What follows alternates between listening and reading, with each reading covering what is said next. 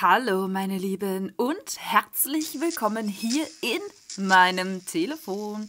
Ich freue mich, dass ihr eingeschaltet habt zu der zweiten und damit einer neuen, was für ein Anfang, also zu einer neuen Folge von Beholder. Ja, ja, ja, ja, ja, das letzte Mal haben wir nämlich schon angefangen hier herumzuspitzeln. Wir sind nämlich ein Hausmeister, äh, dessen Namen ich gerade vergessen habe. Ich weiß gar nicht, Klaus Heinz Dieter? Nee, Dieter war es definitiv nicht. Also wir sind zumindest ein Hausmeister im Auftrag des Staates und sollen, oder ein Hausvermieter, Besitzer, ach, ich weiß gar nicht. Lalalala, so, es ist schon wieder ein bisschen laut, ich mach mal leiser.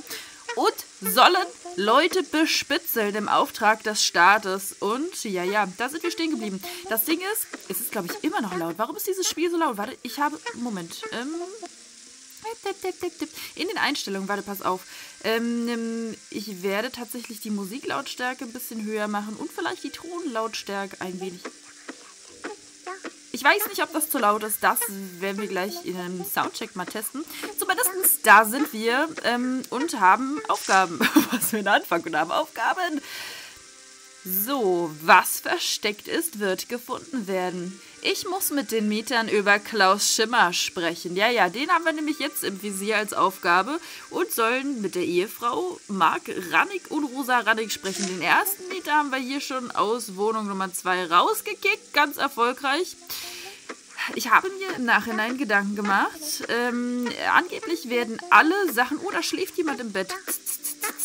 Angeblich so, da gucken wir doch gleich mal, was da los ist. Werden alle Entscheidungen ähm, haben einen Einfluss. Wir haben ja eifrig unsere Familie beklaut. Ich weiß nicht, ich weiß nicht, ob das so klug ist, verstehst du? Ich weiß nicht. Ah, aber guck mal, wir können auch Sachen gezielt platzieren. Zumindest scheint unsere Tochter, die Kleine, die hier vorne so vergnügt irgendwie erst dem Ball gespielt hat und jetzt Fernsehen guckt, so ein bisschen nach uns zu kommen. Denn obwohl wir ihr den Ball, wer bist du denn? Obwohl wir ihn, ach, das ist der Spacken, den wir neu hier haben, ähm, einziehen lassen. Denn, obwohl, ehe wir mit dem Spacken reden, warte mal kurz, obwohl wir ihr den Ball geklaut haben, hatte sie ja jetzt einen Ball. Ja, mysteriös, mysteriös. Und das Ehepaar oben aus der, ähm, ich glaube, drei, mag uns nicht mehr, weil da haben wir zu viel geklaut. Da kam die Polizei und wir haben, glaube ich, ziemlich blöd ähm, die Polizei einfach nur bestochen. Und seitdem reden die nicht mehr mit uns. Na, müssen wir mal gucken. So, und jetzt, mein Lieben, habe ich schon wieder ewig lange drumherum gequatscht. Wünsche euch jetzt aber viel, viel, viel Spaß am 4. September in diesem Spiel. Und das ist der Hallo, Spack. Wir fragen auch ihn jetzt mal nach Klaus Schimmer. Der kennt ihn wahrscheinlich noch nicht, aber uh, frag einfach mal. Lieber Karl, ich bin froh, Sie zu sehen. Ach, wir heißen so Karl. Karl, der Facility Manager. Okay, gut. Wie geht es Ihnen und wie geht es Ihrer Familie? Das Ding ist, weiß ich noch nicht, wie es meiner Familie geht mit den Reden, weil ihr seltener die beklauen wir nur. Alles ist super, danke. Ich äh, wollte gerne so viel Freude. Das ist eine Seltenheit heute. Ich glaube, der hatte uns ja letztes Mal irgendwie kostenfreien Stoff zur Entspannung gegeben.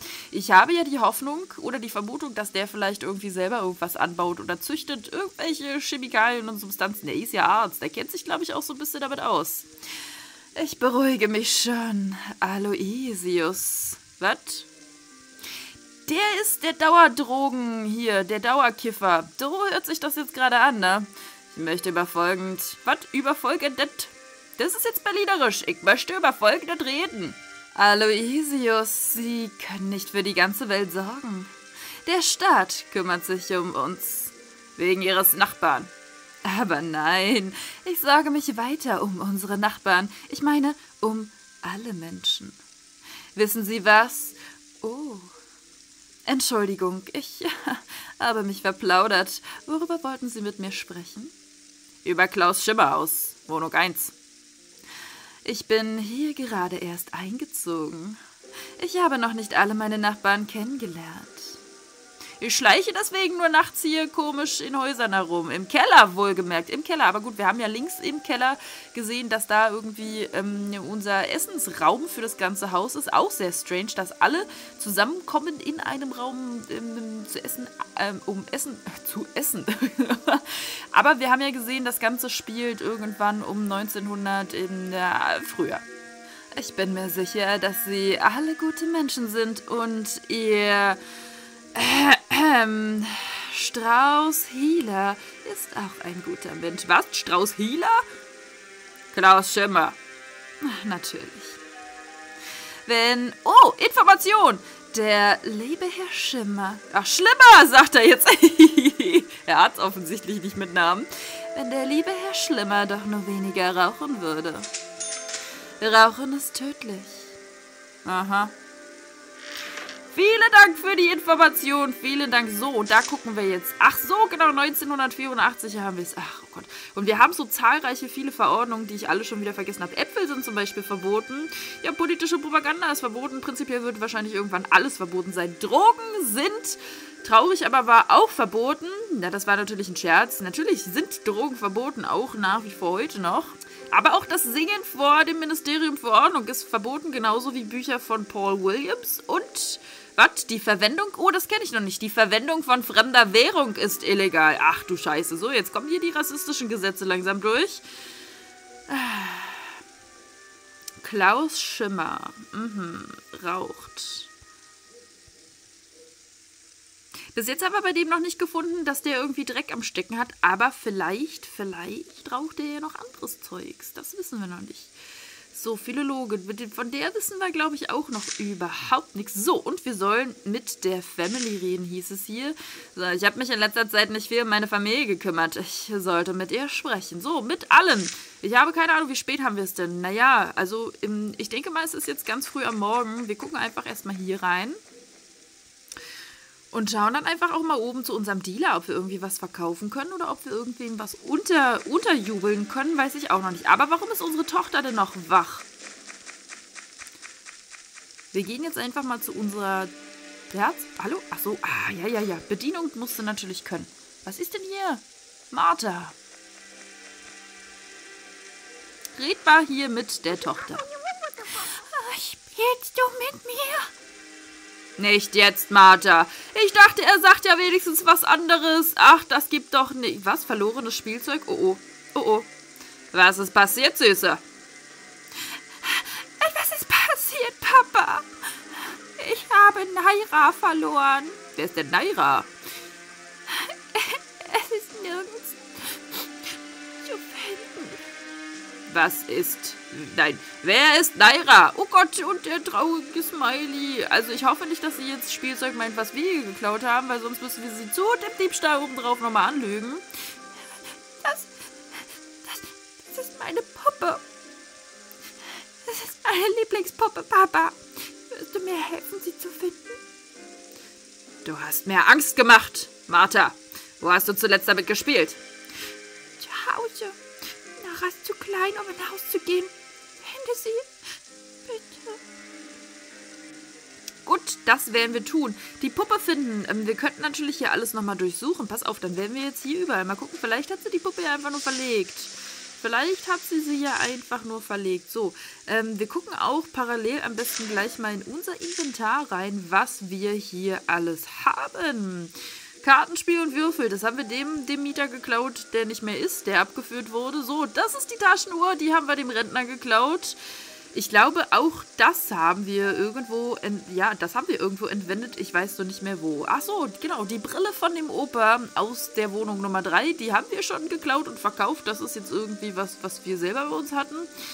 Rasierklinge. Ähm, okay.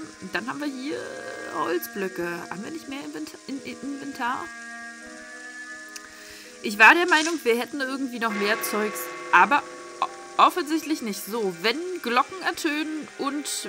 Oh, das ist unser Sohn, das ist unser Sohn. Ja, ja, der kommt wahrscheinlich aus der Mine jetzt zurück. Okay, pass auf, dann gucken wir jetzt einfach mal überall. Und wir haben angeblich Ratten. Immer wieder siehst du ein Symbol auftauchen über den Köpfen, das da heißt Ratten.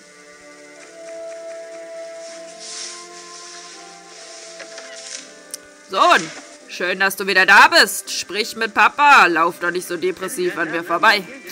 Ja, Vater. Über Neuigkeiten fragen. Ähm. Versuche im Haus zu helfen. Ich habe kürzlich mit Martha gespielt. Okay, das haben wir alles schon gehört. Pass auf, warte mal. Ähm, äh, warte, warte, warte, warte, warte. Ja, Vater. Brauchst du etwas? Ich habe ein Problem, Vater. Was möchtest du? Die Wirtschaftskurse haben begonnen und uns wurde eine Liste von Büchern zum Lesen gegeben. Die Bücher, die ich für die Schule brauche. Ich war im Buchladen, aber sie haben diese Bücher nicht. Oh oh, das heißt, du bist jetzt für unseren Sohn, damit er die Schule gut macht, jetzt Bücher rausklauen. Ich habe gehört, dass es auf dem Markt Gebrauchte gibt, aber die kosten ein Vermögen. Kannst du deine Freunde fragen? Wir haben keine Freunde, wir beklauen alle. Oh Gott, oh Gott, oh Gott, der ist todtraurig. Vielleicht hat jemand, den du kennst, diese Bücher. Du sprichst mit klugen Menschen. Ich überlege, was ich für dich tun kann. Aber er sagt uns auch nicht, was für Bücher. Er sagt uns auch nicht, was für Bücher. Haben wir nicht schon Bücher? Haben wir nicht schon Bücher? Warte, warte, warte. Wir haben doch irgendwas. Warum ist unser Inventar so klein? Ich hatte der Meinung, wir hätten noch mehr. ich hatte der Meinung, was für Deutsch? Ich war der Meinung, wir hätten noch mehr geklaut. Tja, dann gucken wir jetzt erstmal nochmal rum.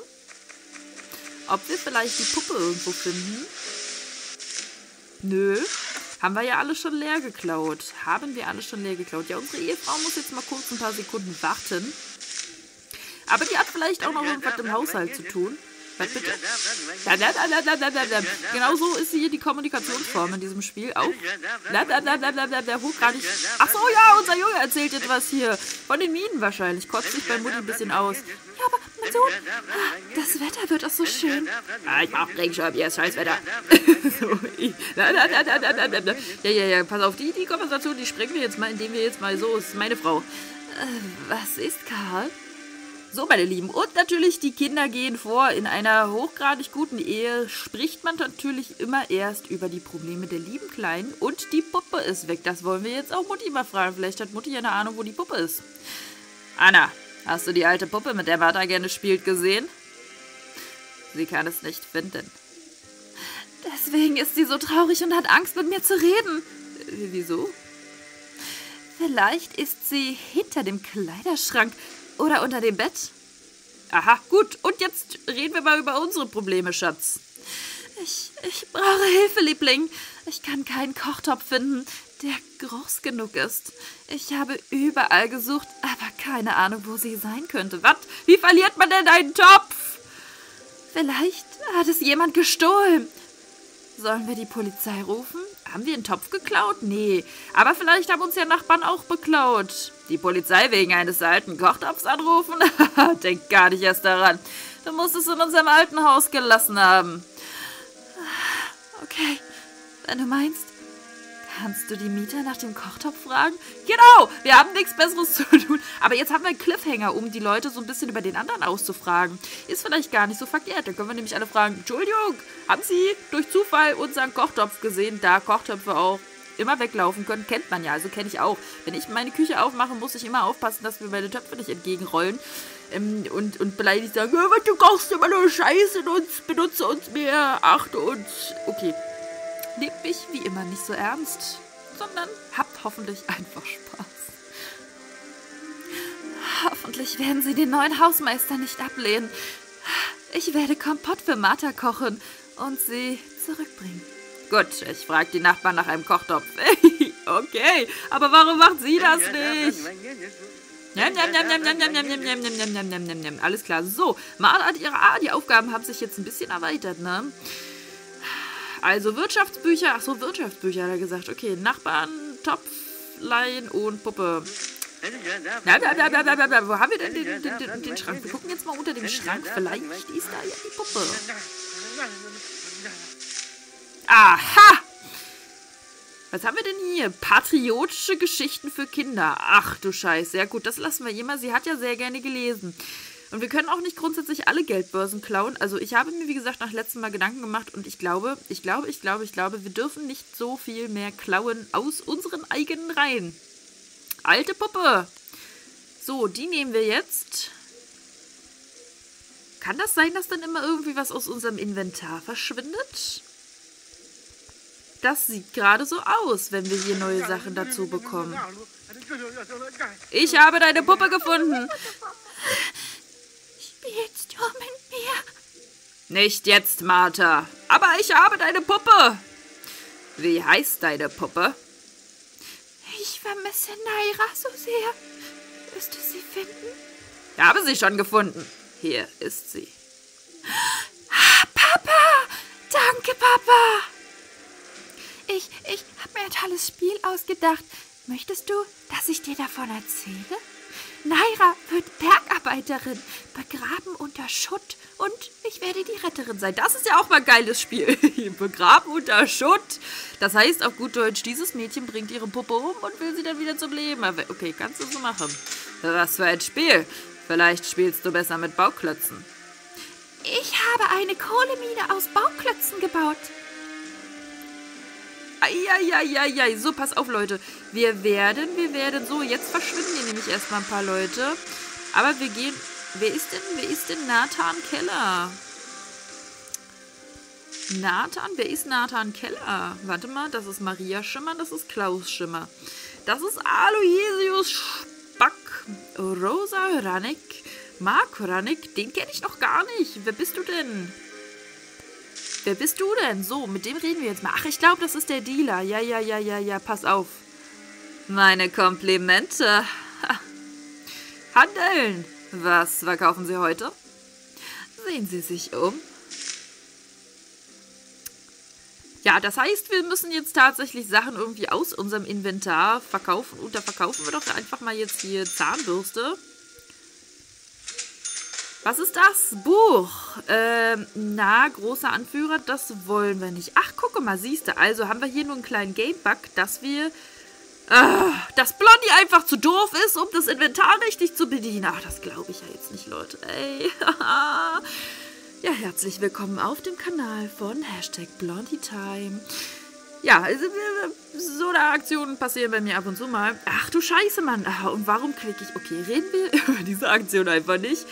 Ja, was haben wir denn hier noch? Stapelspielzeug haben wir nämlich noch geklaut. Und ach, guck mal, Handtücher, Geldbörsen, ähm, persönliche Tagebücher, immer sehr gut. Armbanduhren, Bücher mit Aufzeichnung, ein Ball. Und hier die Whiskybuddel finde ich ja auch sehr geil. Was ist das denn? Aspirin. Aha. Ist vielleicht auch was, was wir irgendwem untermogeln können. Was ist denn, wenn wir... Oh, warte mal. Bücher.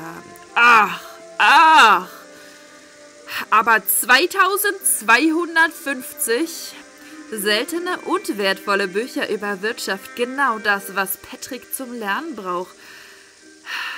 Es ist unser Sohn, ne? Wir kaufen jetzt diese scheiß Bücher und dafür verkaufen wir jetzt Dinge. Was verkaufen wir denn jetzt? Pass auf. Die Uhr. Dann weißt du, keine Zeugen, keine Tat. Und ähm, wenn du nichts mehr hast, was wir hier irgendwie, verstehst du? So, das sind die. Ja, ja, ja. Karten behalten wir noch. Da können wir vielleicht noch was mit anfangen. So, jetzt haben wir immer noch 837. Das passt erstmal.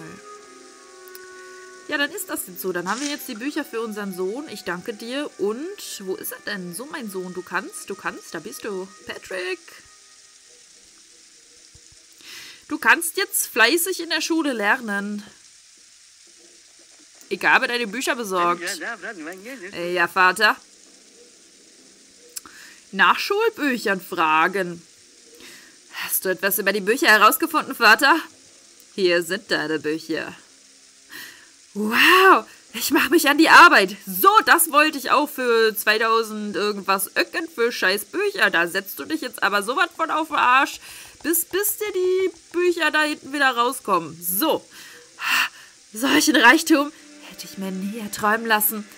Werde nicht mehr zum Rattennest gehen. Was für ein Rattennest? Äh, zur Bibliothek meine ich. Warum denn? Eieiei.